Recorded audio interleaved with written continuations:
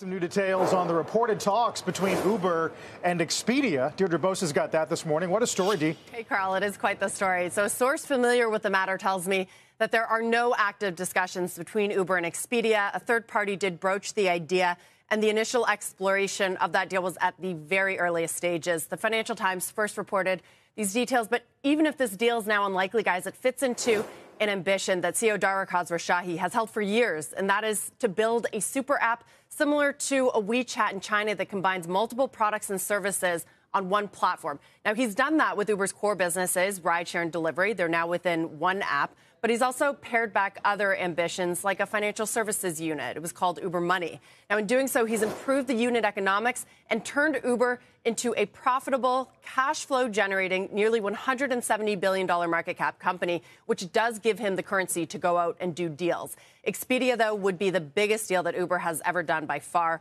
Under Khosrowshahi, Uber acquired Postmates for almost $2.7 billion, Drizly for 1 billion. More recently, he's been inking a number of partnerships with autonomous vehicle delivery and freight companies, including Waymo and Cruise.